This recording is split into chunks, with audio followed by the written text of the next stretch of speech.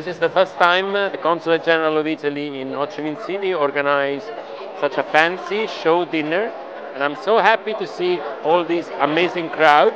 We want to share the passion and the happiness to all people through the Italian cuisine with Vietnamese celebrities and all friends in Vietnam.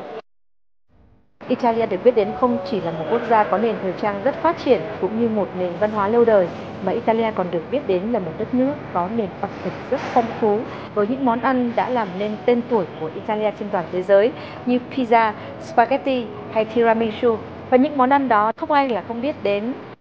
Feasting with Fame is very unique event tonight because we will matching the real menu of Italian food together with some of Vietnamese celebrities. So I hope that everybody will enjoy the night. Là một trong năm khách mời để có thể giới thiệu ẩm thực Ý đến với lại người Việt Nam. Minh Hằng cảm thấy rất là vinh dự tại vì Minh Hằng cũng đã đi Ý và được ăn những món ăn rất là đặc trưng của Ý và ngày hôm nay rất là mong là mình có thể chia sẻ những cái kinh nghiệm sự sự trải nghiệm của này của mình đến với tất cả mọi người. Còn Hằng Ý rất đam mê ẩm thực, đặc biệt là Ý luôn luôn tìm hiểu những văn hóa ẩm thực thế giới và Ý là một trong những nơi có những món ăn rất đặc sắc và rất sang trọng. Chính vì vậy mà hôm nay Yến vô cùng tự hào khi được là một trong năm khách mời danh dự tại buổi Fishing with Fam của Lãnh sự quán Ý. Đến với sự kiện ngày hôm nay thì Tuấn có một cái bất ngờ nho nhỏ là Tuấn sẽ trình bày một món khá là đặc biệt nên hy vọng là hôm nay mình sẽ có một buổi tiệc thật là phức soạn theo phong cách của người Ý. Nước Ý là một cái đất nước mà Hoàng My rất là mong muốn đến hy vọng trong cái buổi tiệc hôm nay Hoàng My có thể khám phá ra được những cái món ăn mới của Ý ngoài món spaghetti mà mình biết mình rất là tự hào và rất là vui khi mà được làm một cái sự kiện rất là trang trọng và lớn như thế này của lãnh sự Ý tại Việt Nam kết hợp cùng với tổ chức iCham và Multimedia để ngày hôm nay chúng ta cùng với nhau tung vinh văn hóa ẩm thực của Ý tại Việt Nam Hiện tại Tâm đang rất là háo hức để bước vào buổi tiệc này và xem những điều thú vị hơn.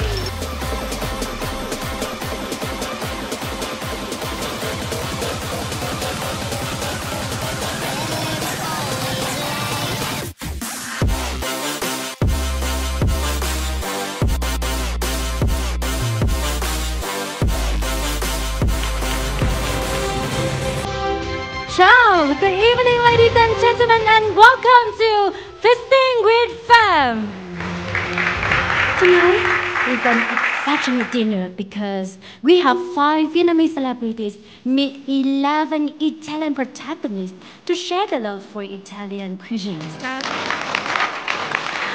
And now, please welcome on stage our most special man of the night, Mr. Dante Brandi, Italian Consul General of Italy in Ho Chi Minh City. We celebrate it also for its capacity to inspire people everywhere, being able to see Vietnamese chefs, bakers, sommeliers sharing their passions for Italian wines and their skills in preparing amazing Italian food. Italian cuisine has to be celebrated because it brings happiness, intimately connected to the Italian lifestyle. So we want to share the passion and the happiness to all people through the Italian cuisine with Vietnamese celebrities and all friends in Vietnam. And I'm so happy to see all this amazing crowd tonight. Trong thời điểm mà đại dịch Covid đang hoành hành, hầu như tất cả các quốc gia đều đóng cửa biên giới. Việc du lịch đã không thể diễn ra thì một buổi tiệc ẩm thực của Italia hôm nay đã làm cho chúng tôi cảm giác như chúng tôi đang được sống, đang được trải nghiệm tại đất nước Italia. Ý là một trong những đất nước rất là xinh đẹp, rất đa dạng về văn hóa và nghệ thuật nên Lý biết chắc chắn rằng sự kiện Fitting with Fam là một sự kiện không thể nào bỏ lỡ được. Aperol Spritz is really refreshing and orange milk is really works perfect for summer in Milan. So that's why I cannot forget mà giới thiệu đến mọi người món cocktail rất là đẹp, rất là signature của Ý với những cái gì rất là chân thật, những sự cảm nhận của mình. À, chắc mong là mọi người cũng sẽ cùng cảm nhận và chia sẻ điều đó. Món mà hôm nay cũng được giới thiệu đó là món cá codfish. Cá đó thì nó không phải là cá tươi mà nó là cá khô xong rồi mọi người đánh thành một cái test rất là ngon và trang trí cực kỳ đẹp có hoa rồi có những cái bột màu xanh màu đỏ rất là bắt mắt và tôi rất là hài lòng với cái món ăn của mình ngày hôm nay My favorite pasta is gnocchi. It's something that's very meaty and it, it sort of fits in your mouth and you bite it and it feels really wholesome and very homely. ẩm thực của người Ý có thể nói là một trong những cái ẩm thực à, rất nổi tiếng toàn cầu. À, theo suy nghĩ của Thanh, một cái đêm như thế này nó quan trọng lắm. Để cho thấy là Việt Nam dần dần là một đất nước đang tiếp cận với nhiều văn hóa toàn cầu. Your cooking tonight is uh, prosciutto, and it's basically beef, which is slow cooked in red wine, in the Barolo wine.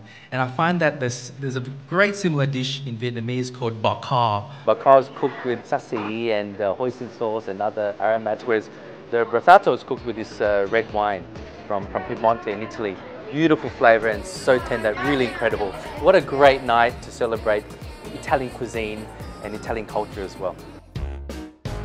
I have a big love with the dessert and the most cake that I love because it, when I taste, when I bite it, it melts in my tongue. It's a tiramisu. Tôi là một người mẫu, người Yến luôn luôn mê những món đồ ngọt và đối với món tiramisu chỉ cần cắn một cái là tất cả một thứ tan ngay vào đầu lưỡi và đó là món mà Yến yêu thích nhất. I love tiramisu. Buổi tiệc ngày hôm nay diễn ra vô cùng tuyệt vời. Tất cả chúng tôi đều được hòa mình vào một cái không khí rất rất Italia với âm nhạc, với rượu vang, với những món ăn đã làm nên tên tuổi và tạo ra phong cách trào lưu cũng như văn hóa của đất nước Italia xinh đẹp đến với khắp thế giới.